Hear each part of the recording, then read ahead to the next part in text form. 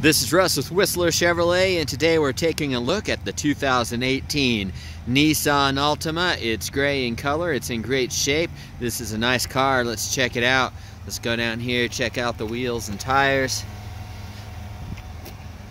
Looking good, paint on this looks great.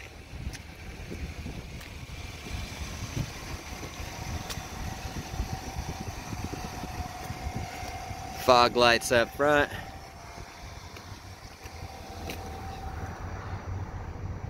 Windshield looks great.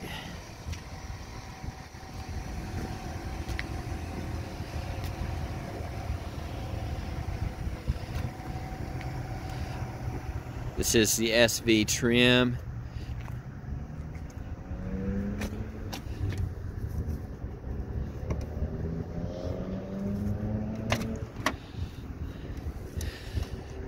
Lots of space in the trunk. Does have the floor mats those back seats do fold down if you needed to carry something longer.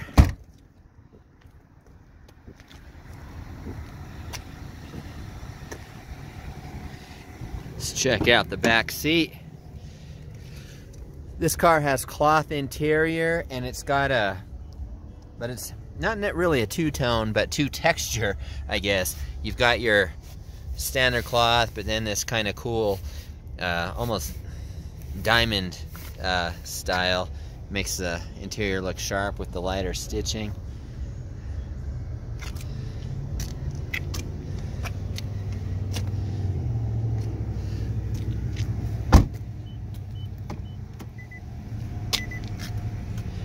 Front seat.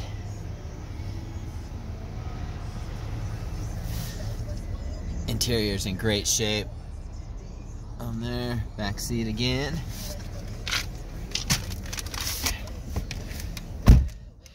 Inside you have your infotainment center right here, AM, FM, satellite radio, heating and air conditioning controls. Down here you have a 12 volt outlet as well as a USB input and an auxiliary input. Center console is one of the two layers, has two levels of storage. You can hit the first latch for an upper storage there put it back down, hit the lower, and then gives you the deep cubby there, another 12 volt outlet on the inside.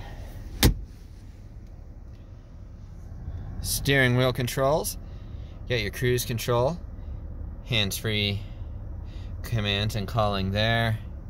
Over here, you have the controls for your info uh, information screen on the dashboard cluster volume right there for your radio and then those are radio controls there. You have your screen in the middle for car information. You can have speedometer on there fuel economy stuff like that. Trunk contraction control there. Mirror and window controls on the side sunglass holder